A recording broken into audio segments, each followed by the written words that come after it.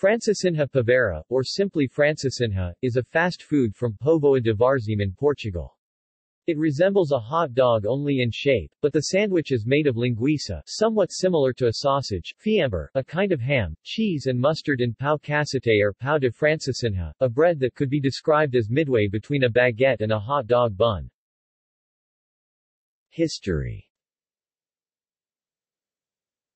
Francesinha poveira is the fast food variety of the Francesinha dish that appeared in 1962 in Café Guarda Sol in Passeio Alegre Beach Square in Póvoa de Varzim.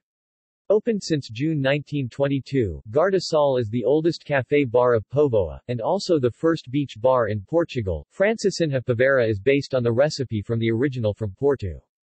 As a curiosity, the Portuan variety was created by Pavoan Daniel Silva. The Pavoan variety appeared from the initiative of the manager, Alberto Moreira, to develop and promote a new distinctive product. To achieve that, he went to Lisbon to find the right person for the job and hired Antonio Carico, originally from Fundão.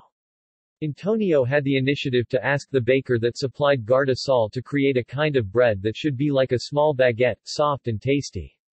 With this idea the Francesinha bread, Pão de Francesinha, appeared. Francesinha sauce. Francesinha is filled with a specific gravy made from with butter, margarine, ketchup, piri-piri and seasonings, with cognac, brandy, port wine or whiskey.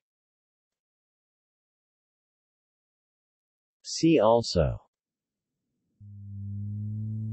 List of sandwiches.